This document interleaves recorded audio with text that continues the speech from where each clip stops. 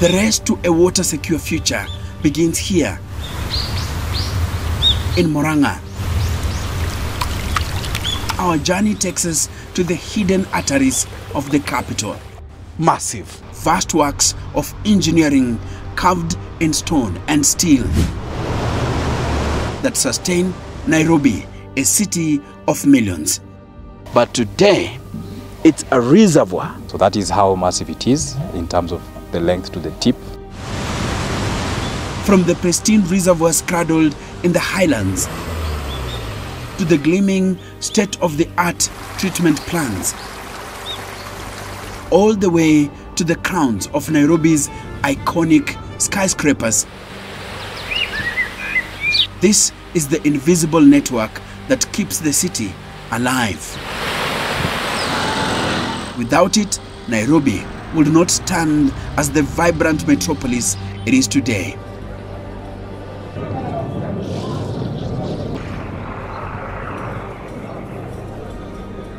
But the bigger question lingers will the city's thirst ever be quenched?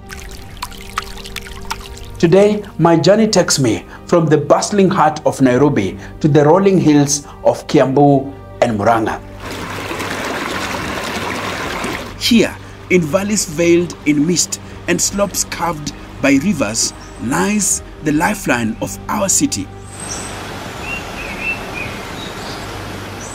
It secures production of uh, 70,000 cubic meters for subsequent distribution to, to the residents.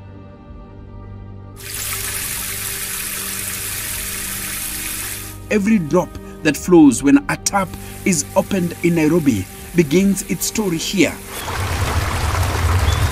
Billions of liters of river and rainwater captured, purified, and channeled through a colossal, unseen river. So that Nairobi, forever thirsty, may drink.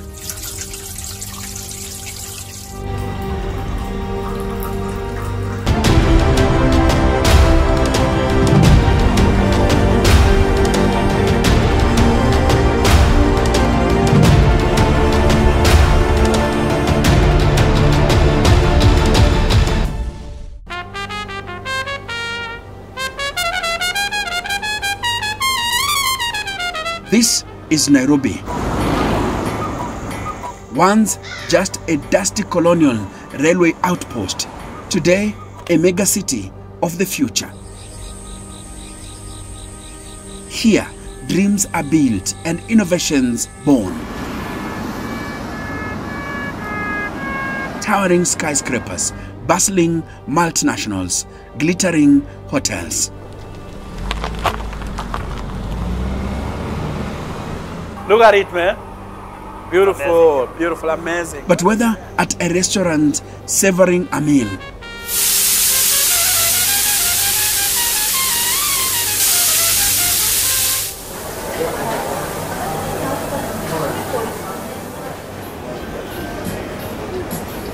or watching steel towers rise into the sky, there is a silent force binding it all together. That force is water.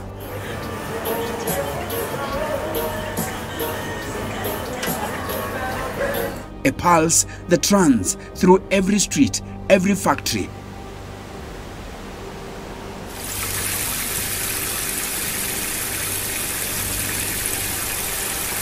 Every home.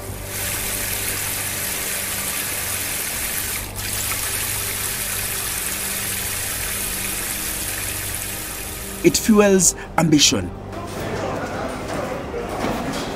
It powers dreams. It keeps Nairobi ticking.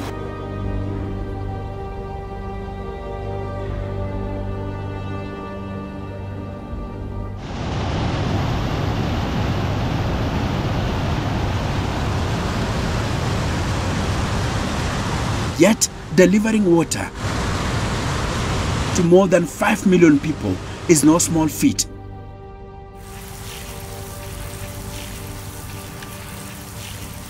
I'll feel satisfied when in this region that uh, we serve, all the communities, men, women, uh, fathers, and all the people have adequate water. They are not queuing for water. They have adequate and affordable water supply.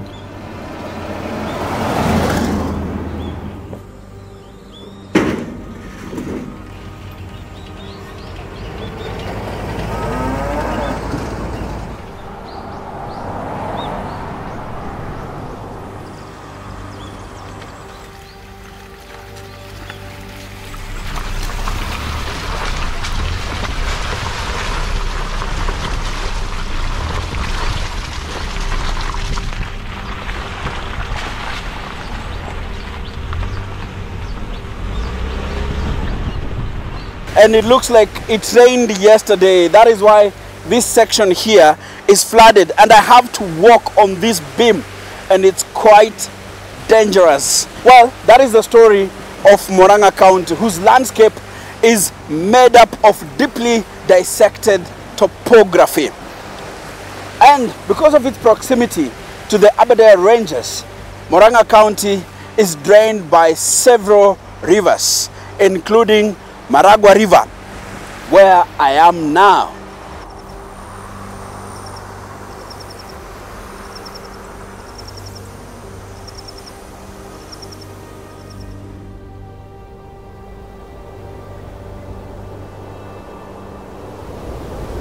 In Gatanga, Murang'a, where mist hugs the ridges, lies a marvel of modern engineering. The Northern Collector Tunnel, a subterranean channel 12 kilometers long, carved through ancient bedrock. Designed to intercept three rivers, Maragua, Gikigie, and Irati, its task capture their waters and guide them to the mighty Ndakaini Dam.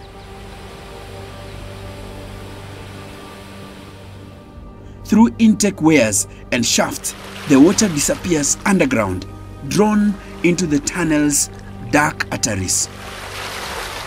Construction began in 2015, but the tunnel's journey was not easy. Engineers battled unstable soils, high groundwater pressure, and the delicate task of working beneath rural villages without disturbing the surface. At times, progress slowed to a crawl, but the vision never faded. The reward 140 million liters of water every single day, enough to serve more than a million people.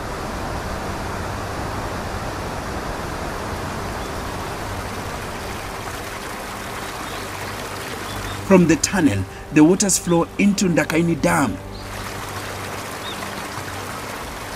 the beating heart of Nairobi's water supply. Sixty-three meters high, stretching nearly a kilometer across. Ndakaini holds an astonishing 70 billion liters, enough to fill 28,000 Olympic swimming pools. Built in 1988, it was engineered for the city's future. Its vast steel intake pipes channel raw water into Ngethu treatment plant, where science transforms it into life.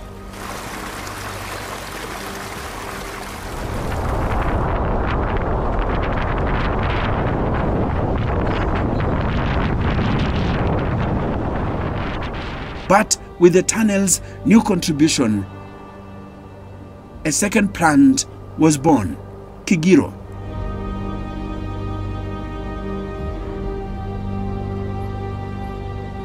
This is Kigoro Water Treatment Plant in Murang'a County.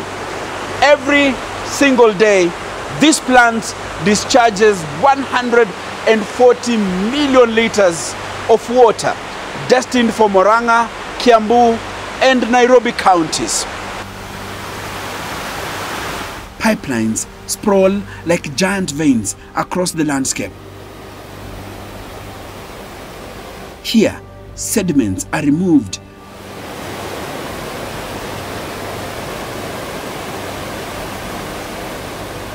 organisms neutralized and water polished to purity before coursing into homes, schools and industries across Nairobi, Murang'a and Kiambu.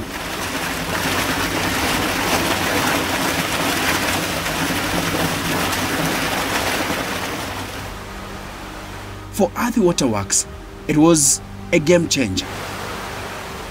It is providing uh, sustainable water supply to, to, to Kenyans within the Nairobi city. But it wasn't always like this. To understand this story, we must journey back in time. Back to the days when Nairobi and water scarcity were always spoken in the same breath. Long queues of people clutching yellow jerrycans. Out of the installed capacity of about 560, the amount that was coming to Nairobi was actually around 320 because of um, a lack of adequate rehabilitation uh, works that were to be undertaken, infrastructure failures, and generally lack of investments in the water and sanitation space. The crisis demanded action.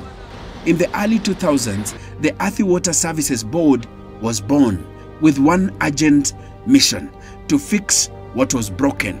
The rehabilitation efforts, the impacts are visible and tangible. And with the reinstatement of um, the Sasumua, Thika Dam, and associated infrastructure, we were able to reinstate water production to the, the desired output of about 560 cubic meters per day. And that is uh, an increase of more than uh, almost around 200,000 cubic meters per day. But the city was growing faster than anyone could have imagined. By 2016, the Athi Water Services Board had evolved into the Athi Waterworks Development Agency. Its new mandate, not just supply water, but develop the bulk infrastructure that will secure Nairobi's future.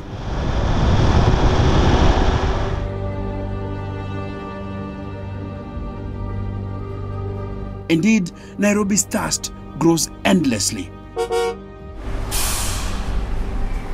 And so, in Kiambu, another masterpiece rose. The Karimenu 2 Dam.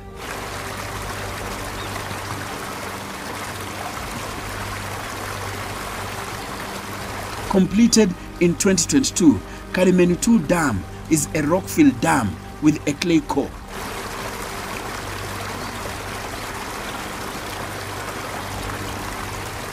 Rising 59 meters high, spanning 150 meters, it cradles 23 million cubic meters of water. The dam structure in itself is 400 meters wide. Uh, at the deepest part, it is 59 meters tall. If you understand it as a basin, there is the dam uh, structure. Therefore, the deepest part is probably at the center and it becomes less and less towards the side.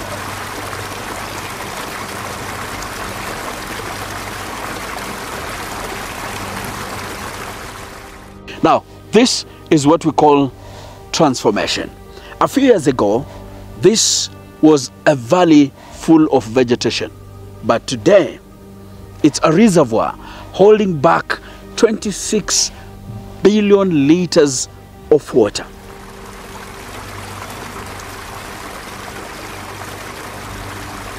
Every day, Karimenu 2 Dam delivers nearly 72 million liters of water.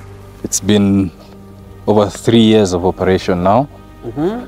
And uh, in that period, uh, we have supplied over 32 uh, billion liters of water.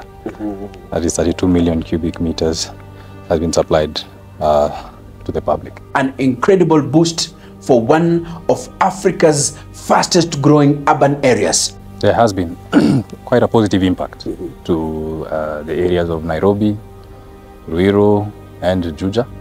Actually, if you find out, uh, uh, at, at least from Nairobi Water uh, in the recent past, their shortages have uh, uh, have reduced, especially in areas like Langata, because we supply to a tank uh, called Kiambu tank near Kinap, used to be Kist.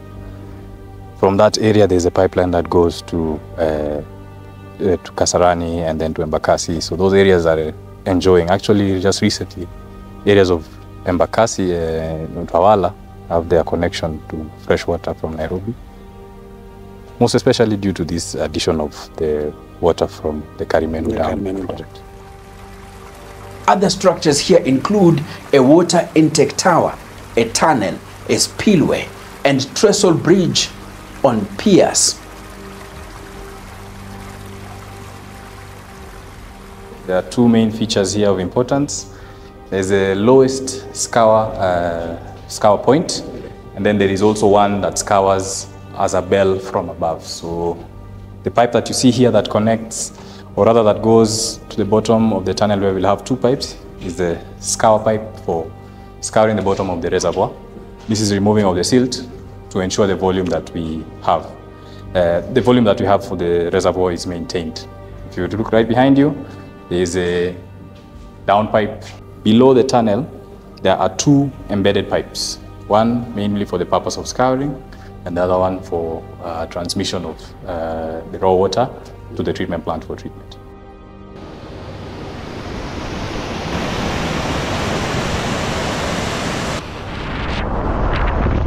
From here, Karimenu channels its gift to the treatment plant.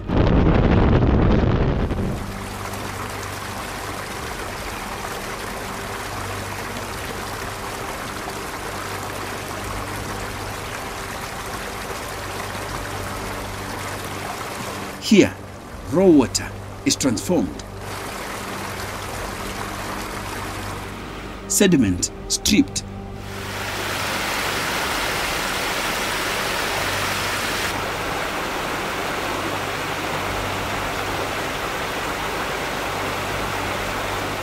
pathogens destroyed, clarity restored.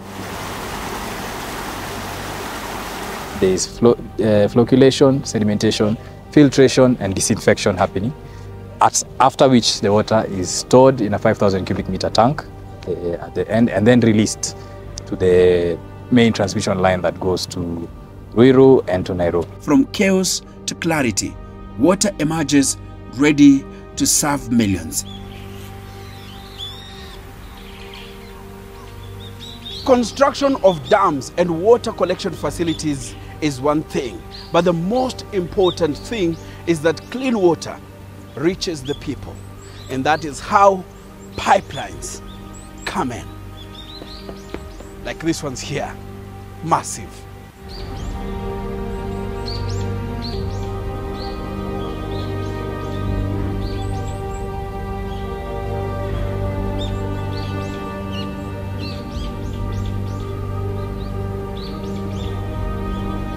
This is where engineering meets human need, where rivers become life giving veins of a city. From the mist of Muranga to the ridges of Kiambu, the journey of water is one of vision, struggle, and triumph. The Northern Collector Tunnel, Ndakaini Dam, Karimenu 2 Dam, together they are the hidden lifelines of Nairobi.